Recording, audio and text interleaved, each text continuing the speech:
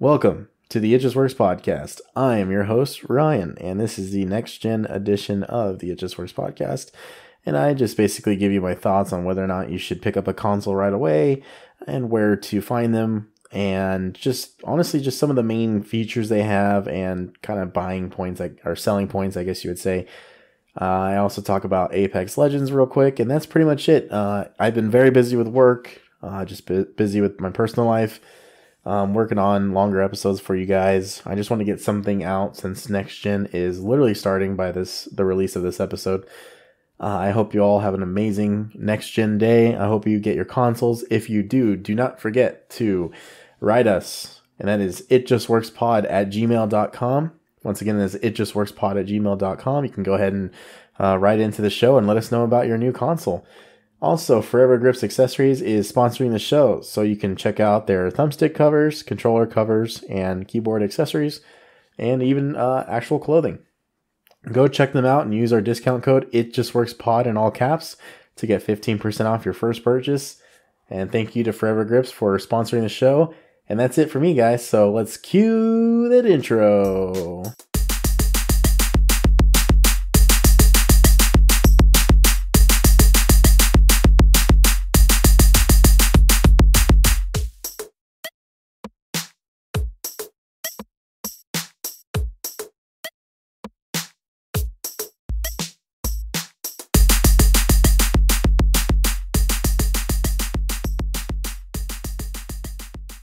Hello, everyone, and welcome into the show. We're just going to get right into it, and we're going to talk about Apex Legends Season 7.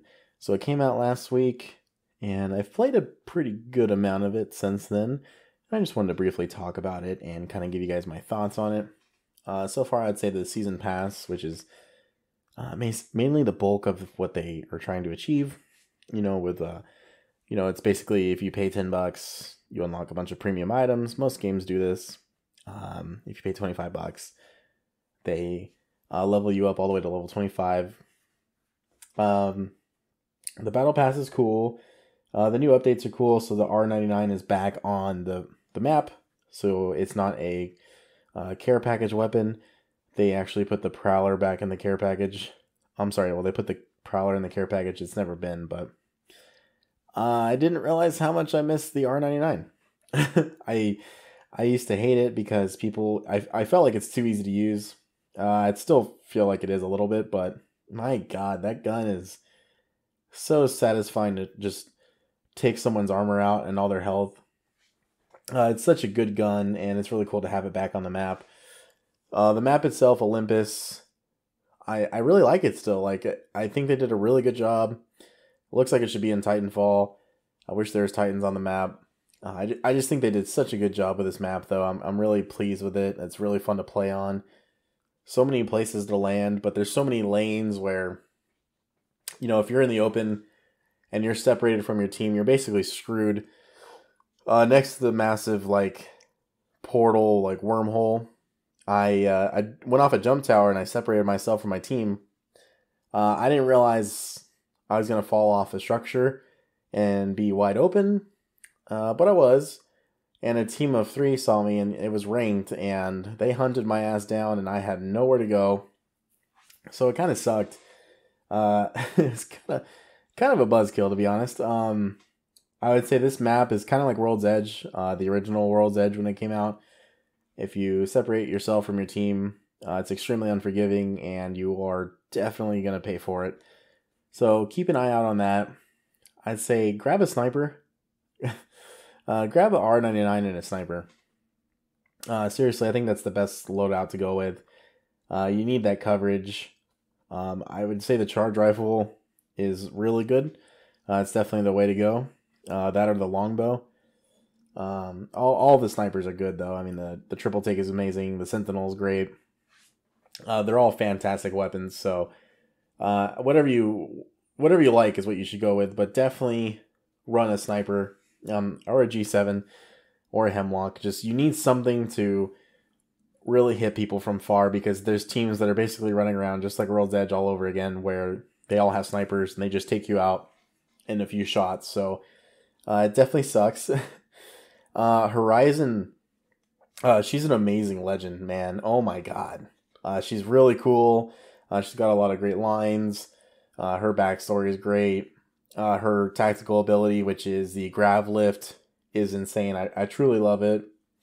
Uh, her passive is basically it's called spacewalk, I think, and she just pretty much can like float around in air a little bit, and then if you do like a high jump and you land, you kind of like do like a smooth landing, and you literally can keep running right away. Whereas other characters, you get like kind of like a you kind of stumble a little bit, and then you can start running.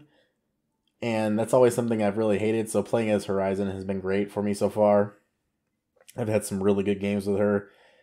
Uh, you can be extremely aggressive with her, and I, I really enjoy that. But with her, you can actually stay with your team. Whereas when I play with Pathfinder or Chappie, you know, I'm grappling around and you know, my team's my team can't catch up. It's just not possible. So if I swing myself into a situation and I cannot take out the last person, it's still my fault. And with Horizon, I don't really have to worry about that. I know my team's still going to be there. And don't get me wrong, I still run ahead a little bit too much, but uh, she's just a great legend. I think all around this season is fantastic. Uh, they they've done such a good job so far, and I think the vehicle, the Trident, is uh, honestly it's fucking awesome. I love that damn thing. I I, I think the Trident is hilarious. Uh, it cracks me up just you know driving it around, and people are like, "Oh shit!" I've been using it to literally like bum rush people, uh, bomb rush people. Like seriously, like you can literally just drive into a situation and then jump out of the trident, but it still keeps moving when you're jumping out. So like you don't really launch where they think you do. And uh, I think it's I think it's a pretty effective strategy. It works out for us most of the time. Um, there's a couple glitches out there. Uh, my brother recently found a glitch, and I'll be hopefully posting it here soon. But looks like his team went off a jump pad with a trident, and it literally like launched them up in the map like in the atmosphere, kind of like the old supply crate glitch on Kings Canyon in season one. And then another one that's come out is um uh one second sorry um wow i just completely blanked um so caustic can throw a trap out and the second it's almost done you know coming up you can grapple it with chappie off a jump pad and you literally fly up in the sky. So there's a couple glitches that have been found recently. Uh, other than that, Apex Legends Season 7 is fantastic. Please go check it out if you haven't yet. Crossplay is in the game for good now. Uh, you can add us. Uh, you know, all of us play it. Eric the Casual Gamer, myself.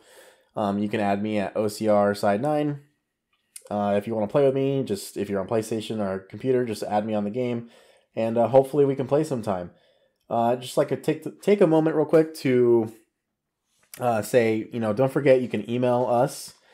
Uh, you know, our Gmail is itjustworkspod at gmail.com. Once again, that is itjustworkspod at gmail.com. Please don't forget to send in some feedback. Uh, we'd love to hear from you guys. So, one of the next things I want to talk about is uh, my charger dropping on the floor and hurting everyone's ears. Sorry about that. Um, next gen, well, next gen in air quotes, since it's such a cross generation thing we got going on, like cell phones. But next gen literally starts now.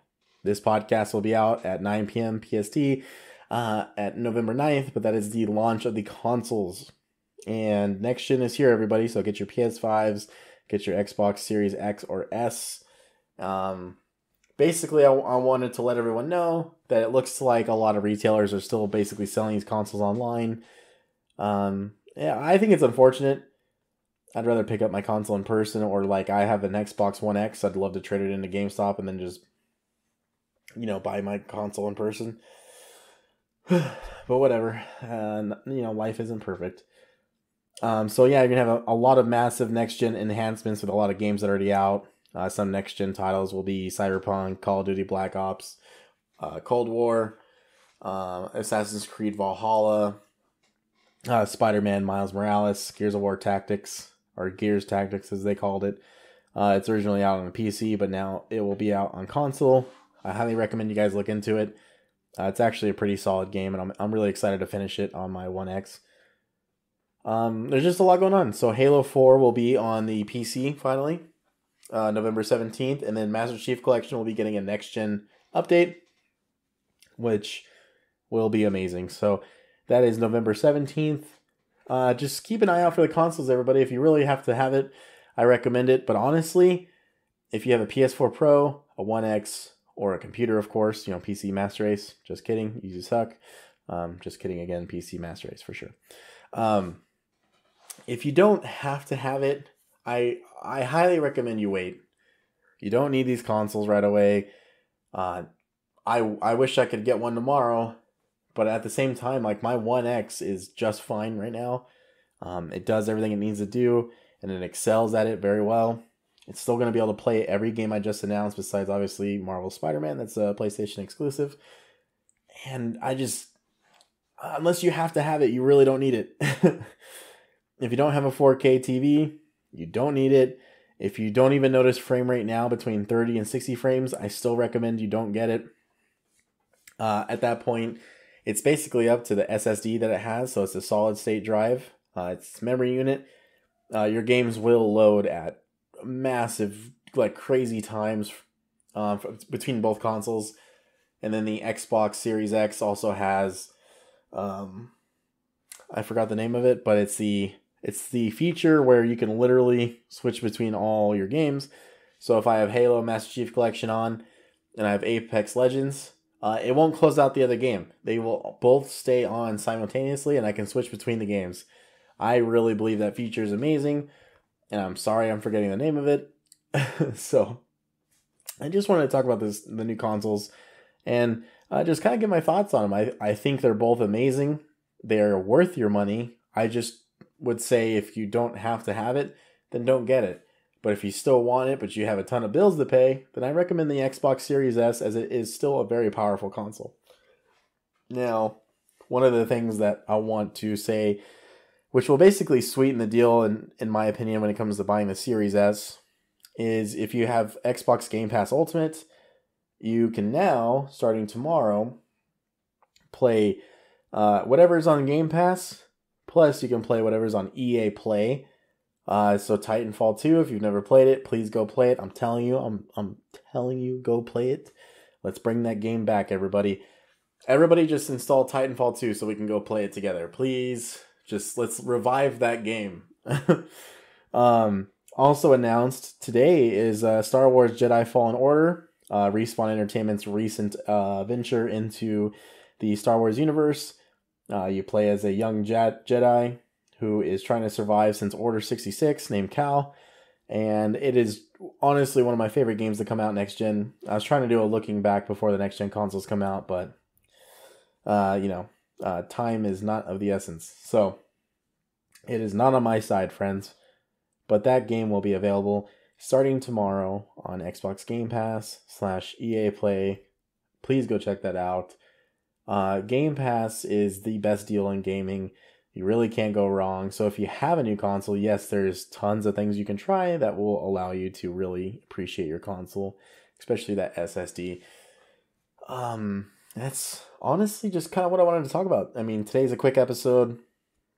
Um, I need more time with some of the other stuff I'm working on, and I believe Lord of the Rings will be recorded later this week. Uh, I still have to watch it again. Uh, I can already tell you now it's an amazing movie. Uh, you should just watch it. um, but that's that's honestly pretty much it. So I just wanted to say, if you guys get your new consoles, uh, go ahead and email us in the show let us know what you think of your new console. Like, is it something that you really felt like you had to have, or is it, you know, are you happy, but you're like, yeah, I probably didn't need this yet? Uh, definitely let us know. Um, I'm excited to uh, get get my hands on hopefully both. I actually want the Series X and the Series S. I know that sounds crazy because I really don't need it, uh, but I really want both. so uh, keep an eye out for those guys. Um, there's a lot of future updates coming, so please uh, bear with me on this. Um, there's just a lot going on. Uh, work has been super busy, so I do plan on making longer episodes for you guys again. Uh, as always, thank you so much for listening to the show. I really appreciate all of you guys. There's over 30 countries listening to the show. I mean, that's insane. I mean, it could be one person for each country, but what I'm saying is that's crazy. uh, real quick, I just wanted to talk about my Instagram poll. Uh, yeah, so keep an eye out for those. I'm going to try to do those every Friday. I think they're really fun. Uh, the last poll I did was on the Star Wars sequel trilogy, and I said, Is the Star Wars sequel trilogy dog shit? Uh, the answer is definitely yes, in my opinion. But honestly, at the end of the day, if you like it, that's great. Uh, I just wanted to say that both polls uh, yeeted it. That movie franchise got yeeted real hard. Uh, but they were close on one. I think people meant that thought that send it meant, you know, it's not good. I don't know. I was worried that a lot of people said they liked the Star Wars sequel trilogy, everybody. I don't know how I feel about it. But, anyways, this is the It Just Works podcast. I am your host, Ryan. Uh, next Gen is here, guys. Uh, stay tuned for the next episode. Uh, God knows what kind of news is going to come out in the next few days, so please stay tuned. And I hope you all have a wonderful day. Bye.